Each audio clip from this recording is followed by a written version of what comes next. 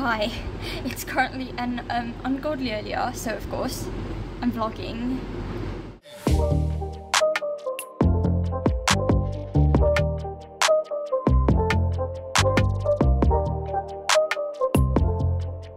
You guys know, I am merely a faceless being on the internet, so this vlog is going to be a bit different. There's going to be, you know, more music and uh, less talking and less faces because I hate talking in public. So I don't really know why I'm doing this, but um, you know, I just wanted to vlog the Eras tour because I think it's a cool thing. I did just want to put this disclaimer at the start because I'm terrified to do this. One, because I've never vlogged anything before, and secondly, I am just perpetually afraid I'm going to somehow find a way to dox myself uh, recording anything in real life. So uh, it's fun. Also, yes, shameless promotion. This is the channel that this vlog's going to be up on, so um, go subscribe, I guess.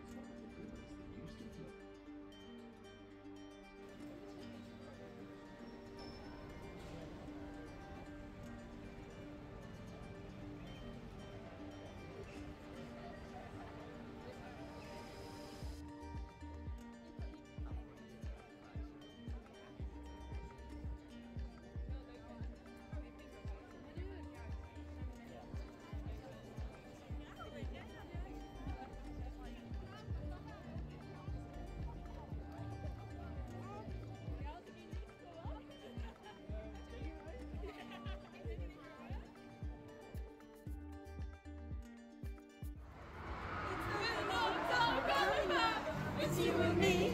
That's the whole.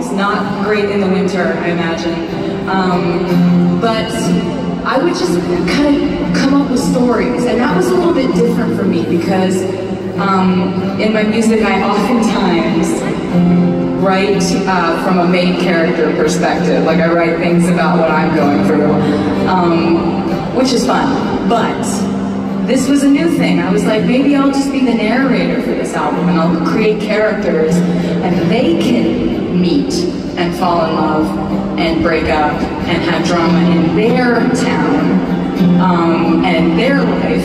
And this is a, a, song I wrote about a character I made up. Uh, her name was Betty.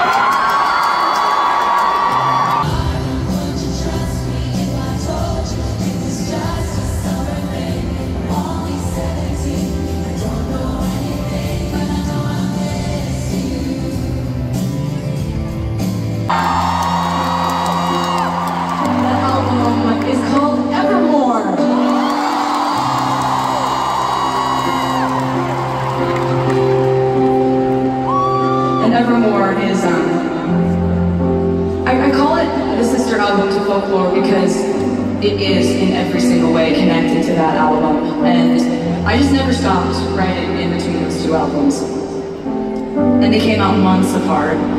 And when I was writing this music, when I would finish a song, and it'd be a song that I was proud of, I, I, I would have this very melancholy thought that at that point in time, I didn't know if I'd ever get to play that song live with you.